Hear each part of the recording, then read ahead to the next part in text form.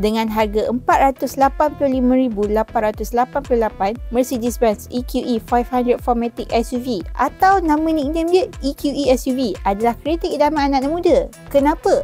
Ni sebab dia. Punyalah futuristic dia punya design sampai kat Ecovan dia tersorok cantik dekat dashboard. Siap dengan ambient lighting yang slow-slow akan tukar warna. Tengok dekat bahagian dashboard ni kemasan kayu yang cantik. Nampak mahal. Untuk screen infotainment dengan ukuran 12.8 inci, dekat sini anda boleh kawal banyak benda. Dan spesialnya ada Apple CarPlay dan Android Auto. Bawah ni fingerprint reader dan ada slider untuk volume. Siap komplit dengan 15 speaker. Layan teruk. USB-C charging port pun ada banyak. Dekat sini. Dekat sini. Dekat sini. Ha, total kat depan ni ada enam. Untuk seat belakang, ada dua. Lepas dia punya panoramic glass sunroof, anda boleh kontrol kat atas ni. Main side-side je. Ruangan kerusi untuk bahagian belakang yang bezakan antara EQE SUV dan EQS SUV. Yang ini ada dua row saja iaitu 5-seater.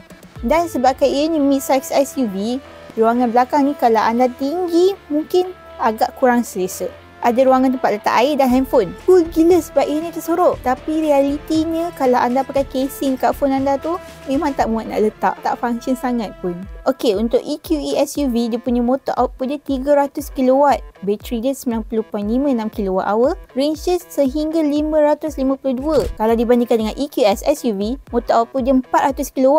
Bateri dia 108.4 kWh dan range dia boleh pergi sehingga 605 km. Oh ha, lagi satu, front hood dia ni tak boleh buka. Tapi ada satu tempat khas untuk letak air sabun untuk wiper. Okey, pasal belakang pula. Untuk ruangan boot belakang ni besar 522 liter. Kalau turunkan kerusi boleh dapat 1675 liter. Dan bawah ni pun ada lagi ruangan. Kalau nak dibandingkan dengan EQS SUV yang ada 7 seater dan semestinya harga lagi mahal. So, anda nak beli ni atau baik beli kereta EV lain?